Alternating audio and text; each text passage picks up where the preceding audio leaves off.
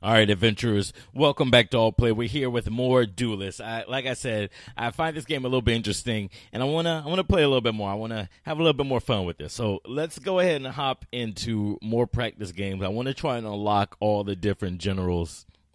It seems like beating them is how I'm gonna unlock them. So let's see. Uh, remember we got our new quest of win two practice games. So now we just need to play two more practice games. That's fine. It's fine. It's okay. It's okay. So we have practice here. There's other different modes. There's season ladder. There's solo challenges, crossfire mode, and gauntlet. And to beat all these, I'm sorry, to unlock all these, it looks like we need to complete starter quests. All right. Uh, so then next it wants to be to go against Vetruvian Imperium. I honestly, I think I want to keep at Lyonar Kingdoms. Let's keep at Lyonar Kingdoms, so we can go Vetruvian Imperium as our opponent.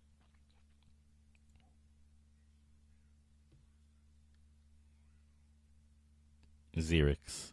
Zirix is our enemy, and we're on the blue side, so we're going second. I'm guessing. Uh, let's see. Choose our starting hand. We have the Petra Defla- or Dreadflayer, two four for three with flying. Necroseer, Windblade Adept. I like this guy. I like this guy so far. And we have the artifact and the spell. Uh, to be honest, I think I want to send back Necroseer. Damn. Damn, we got our Tid Tid. The dry bone golem. My dumbass didn't unmute the game. That's okay. We'll be fine. And so he's gonna move and summon an ethereal obelisk. You can't attack, but it summoned the dervish. At the start of your turn, summon a two-two wind dervish with rush nearby. It disappears. Yo, I like I like cards like this. This game is pretty. It's reminiscent to a lot of the different uh, CCGs that I played over my life. I played a lot. I like cards like this that themselves don't attack, but they summon things that can help you. Oh, it can't move or attack. Damn, it has rush. I need to. I want to know what rush does. I feel like rush is going to be what's what's really good. As long as he doesn't move, pretty much he's good. So rush, it can move and attack immediately. Okay, I should have I should have seen that one coming. Uh, two two Iron Dervish at a random space nearby the general. Yeah. Okay, so I guess he should have stayed. Oh, he's gonna attack here. I was gonna say I guess he should have stayed nearby this so that we had to come to him, so that the Wind Dervishes can attack. I think I like this general so far. I think I like him the most. He's a he's a, a token creator, and I like I likes that shit. Let's see. Uh, okay, so we have four mana. We can summon both both uh, Windblade Adepts. What we can do is move him. Oh, we have flying. He can move anywhere. So what we could do is come here and attack this, so it stops summoning the dervishes. And I think I can put him right here, and, and they'll be safe from the dervishes. But he's probably just going to move back and attack it. But I think that's that's truly what I need for him to get away from the the mana.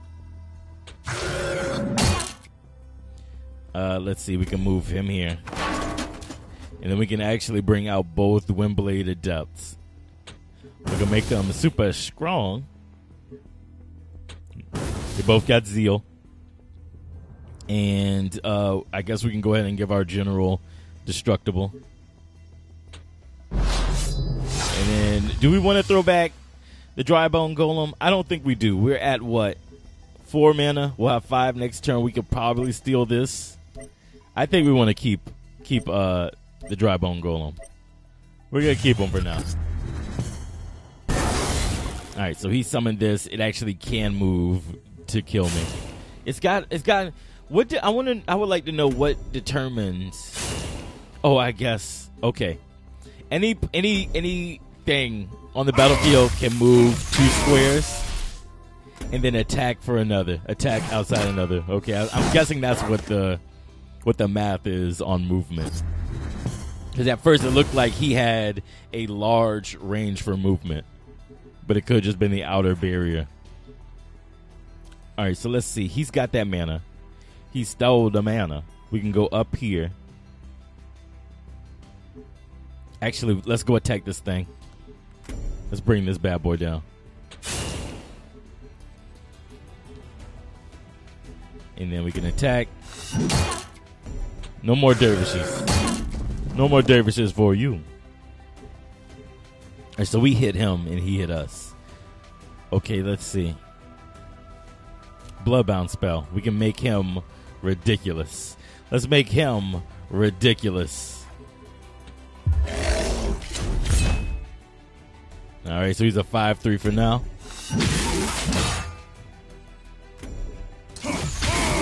I can see him attacking us next turn and not the not the adept. Not the adept. I, we're done, right? We can't do anything else. We can throw stuff back. I think we want to keep all the stuff we have right now.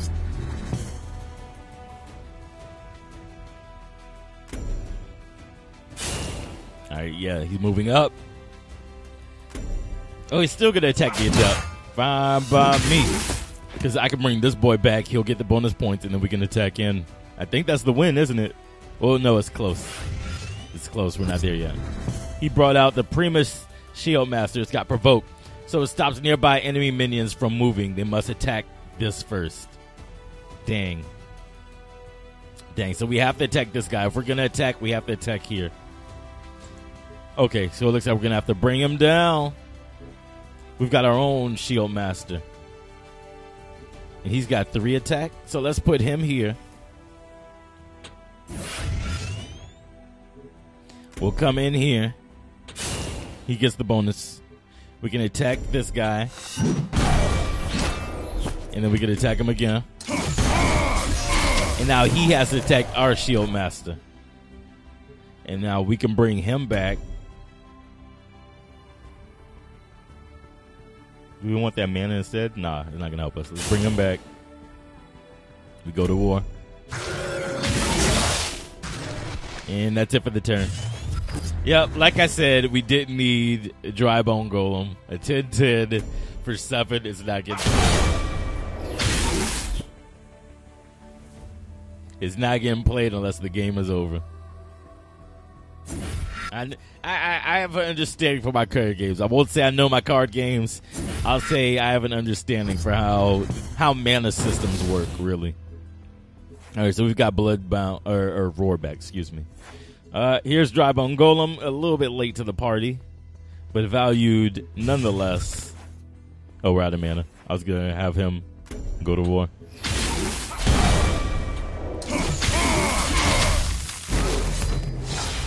That's two down. Two enemy generals down. We've leveled up.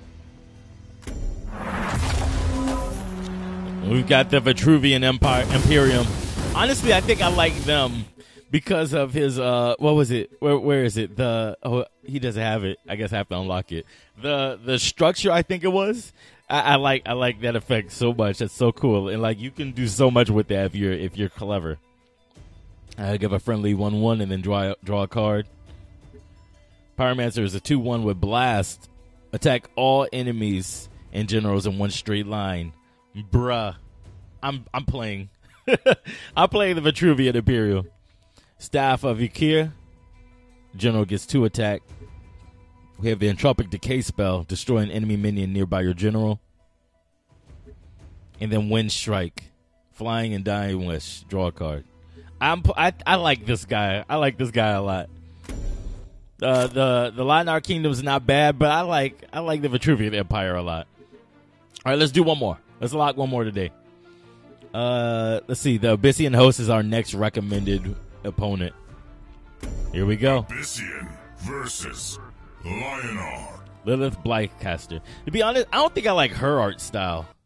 It looks a little different than uh than our boy Highmane. All right, what we got? Looks like we got a bunch of minions in our hand. Uh, we're going second, so we're gonna have one extra mana. We've got the Lysian Brawler. I feel like this boy, I feel like this boy here is gonna be the one today. Uh, Storm Metal Golem. I think I'll send this back. Again, a six, six mana is not gonna help us out early. We need early help. I at least need to stand up before we fight. You know. I'm gonna just send this one back. All right, we got another brawler. All right, so she's going first. What's her thing? Shadow spawn. Summon two wraithlings nearby your general. I feel like this gonna be good. I feel like this gonna be good. She's gonna summon a Gloom Chaser with opening Gambit. Summon a one-one Wraithling in a nearby place. So this is the Wraithling. It's a one-one for one.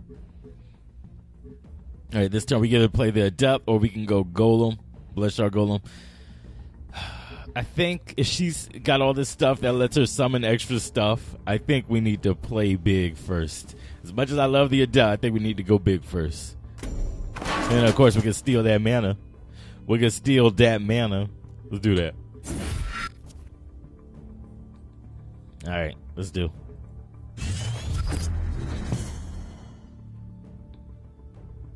She's probably gonna kill this guy, which is is fine.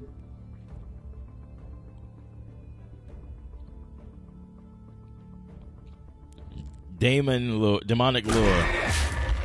What they do? I ain't get to see it. I ain't get to see it. Oh, it returned it to my oh to the other side of the field. How oh battle log perfect.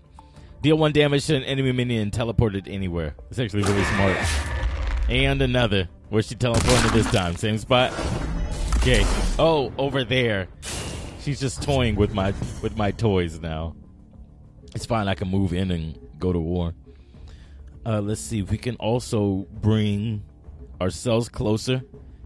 Move him here. And then she can't come and kill my stuff so easily, which would be nice. All right, so now he's got provoke, so that means he has to be attacked first. Uh, anybody nearby here can't move, and they have to attack him first, which I'm actually 100% okay with. 100% okay with that. So we could throw a card back, but to be honest, I think all the cards we have in our hand are pretty good to have. I think they're all pretty good. So she's got her two Wraithlings coming up. So if it's gonna do anything, it has to attack this first.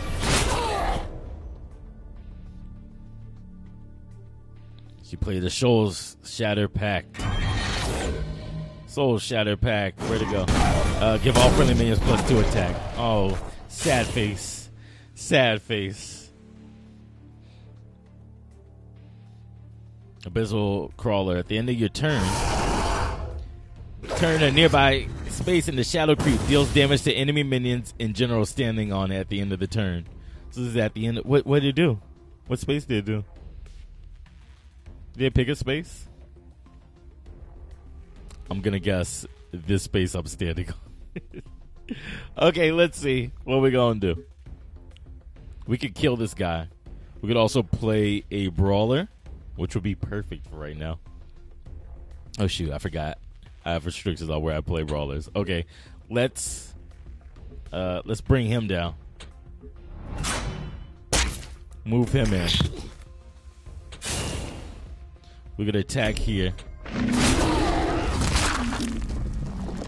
Uh, let's see. If we play the brawler, we're gonna want to near us, obviously, right? Here we go.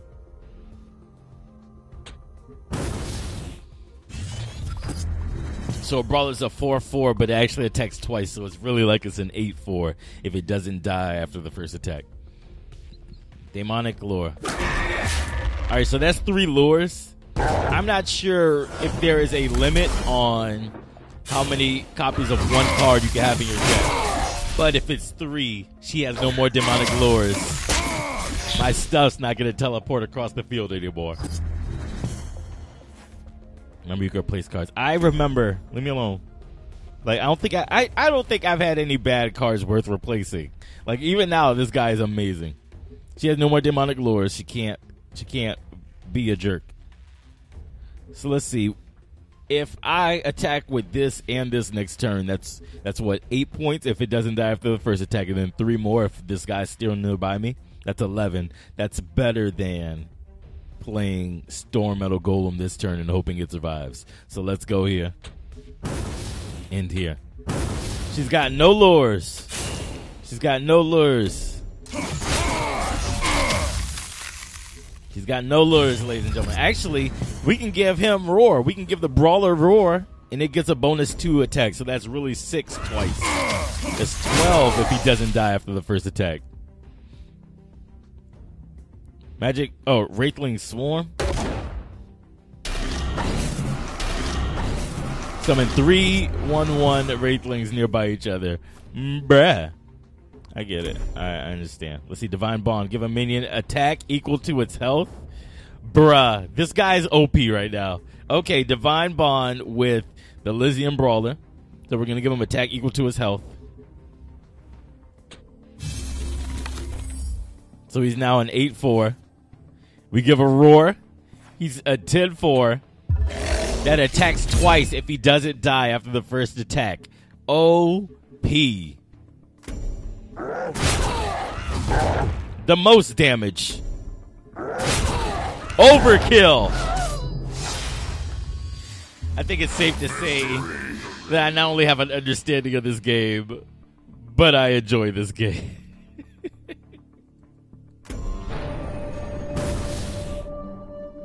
to a level four reward, we got Silver Guard Knight. It's a one five minion with provoke and zeal. Uh, if it's nearby me, he's gonna get two attack, and minions nearby can't move away and have to attack this guy. This guy is clearly gonna be one of my favorites. I like I like when cars get stronger under certain circumstances and then they have to be attacked and they have a lot of defense. I like that. Silver Guard, Knight, I need to build a deck with this boy. Went to practice games, so we got 100 gold. Dope. So we have, there's, oh, we unlocked a, Abyssian host. Let's check out our cards before I go and talk about stuff I have no idea what I'm talking about. Uh, so we saw her Bloodbound spell. She summons two Wraithlings nearby. Uh, Horn of the Forsaken is an artifact. Whenever your general deals damage, summon a one-one. I like this. I like this type of stuff too. It gives incentive to attack. It makes it makes her attack better. Uh, Gloom Chaser, we've seen him opening Gambit, summon a one-one Wraithling in a random nearby space. Shadow Watcher is a two-two for three with Death Watch, gains one attack. Triggers effect whenever any minion dies. This is pretty dope. Wraithling Swarm, summon three one one Wraithlings nearby each other, and then Dark Transformation, destroy an enemy minion and summon a one one Wraithling in that space. That's dope. That's dope. Okay. Oh, so daily free card. We get a free card of the day. Oh, press anywhere to reveal. The Cascading Rebirth. Destroy a friendly minion to summon a random Magmar minion that costs one more. That's dope. That's cool. Okay, so we got our daily free card. It seems as though your daily free card is available more often than daily, unless this is just when it recycles or refreshes. I guess that'd be what, 8 o'clock at night for me? Maybe 7? Yeah, around 7 for me.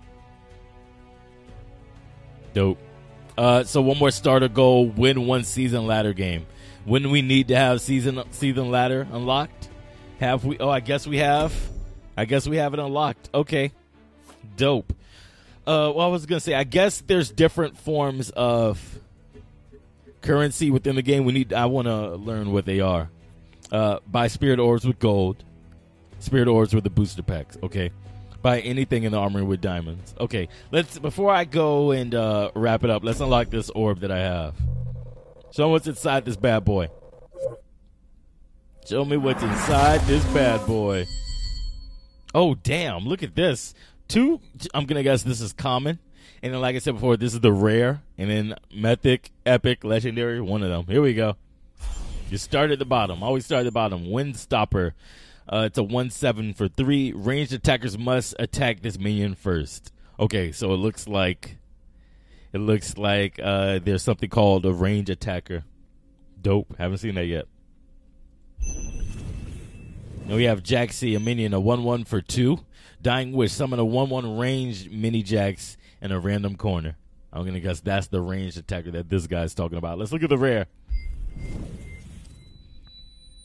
Emperor. Oh, sorry. Emerald Rejuvenator is a four four for four with opening gambit. Re- restore four health to both generals. That's not bad. That's not bad. I mean, it's healing the opponent, but it's not bad. Number one. Stars Fury. Summon a Wind Dervish with Rush in front of each enemy minion in general. Bruh, I just thought about what that does. That's good. Wind Dervish is the is the one that I said was cool that I wanted to play. Rush means they can attack and move immediately, and it it's in front of each enemy minion and general. Bruh, that's OP. I likes that. And for five, it's not bad either. Seeing as you start out with what two mana, uh, two mana, three mana.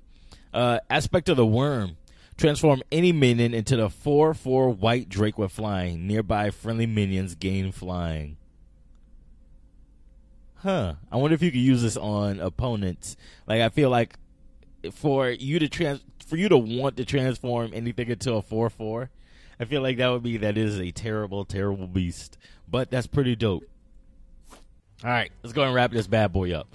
Let's go and wrap this bad boy up. If you guys enjoyed this episode of me taking a look at Duelyst and would love to see more, if you like the player player as well, feel free to check the description below. I'll have a link where you can check out the game on Steam for yourself. Uh, if you would like to see more here on the channel, then all you have to do is hit that red button below this video.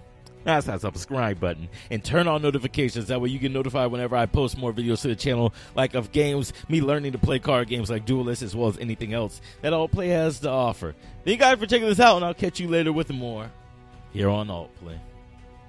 This game's dope so far. This game's pretty dope. I wonder if there's a an app that I can use to play this on the go. That's what I really like. I'll see you guys later. Bye.